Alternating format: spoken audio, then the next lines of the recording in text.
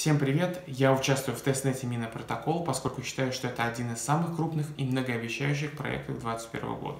Каждый, кто хотя бы немного соприкасался с миром криптовалют, например, создавая криптокошелек, знает, что ответственность за свои действия лежит на нем и только на нем.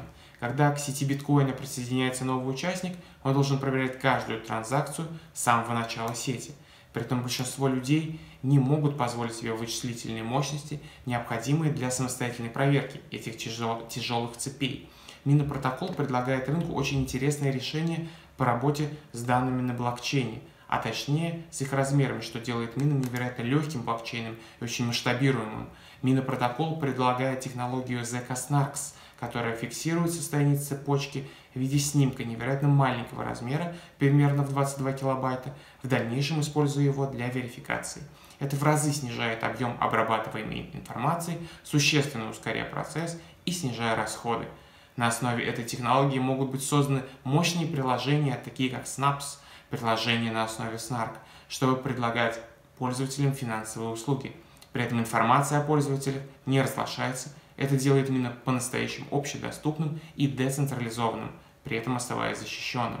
Область применения технологии не ограничивается финансовыми операциями. Создатели предлагают использовать ее в случаях, где требуется удостоверение личности. Например, согласно опросам, проведенным в апреле прошлого года, только 14% американских избирателей были уверены, что будущие президентские выборы пройдут честно. Минопротокол предлагает использовать ZK Snarks для верификации голосов без раскрытия персональных данных, что особенно привлекательно. Подтверждается факт голосования конкретным человеком, но сам человек не называется, и его выбор также остается в тайне. Но знаете, больше акцент хотелось бы сделать даже не на технических достижениях, а особенностях Mina Protocol, а на силе комьюнити проекта. В своем мини-влог я уже отмечал этот факт, а сейчас освещу эту тему подробнее. Слоган Powered by Participants действительно не пустые слова. Я скорее нуб, новичок, но комьюнити в Телеграме и Дискорде всегда готово помочь. Я буквально влюбился в него. У меня было действительно масса вопросов как по технической части, так и по комьюнити-челленджам. Но мало того, что на все из них были найдены ответы, мне практически и не приходилось их задавать, ведь чуть-чуть поискав, обязательно обнаруживал, что кто-то уже задавал тот или иной вопрос, и был получен точный и при этом понятный даже новичку ответ.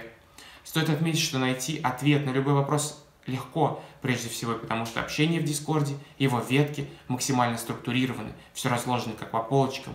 Есть проблемы с английским, чтобы быть частью мини-комьюнити, это не преграда. Присутствуют топики на различных языках, в том числе и на русском. То же касается и телеграм-каналов английского на более чем 20 тысяч человек и русского на полторы тысячи человек. Видеогайды, руководство, записи вебинаров, в общем, всесторонняя поддержка. Попав в мини комьюнити, можно быть уверенным, что ты не останешься один на один со своей проблемой.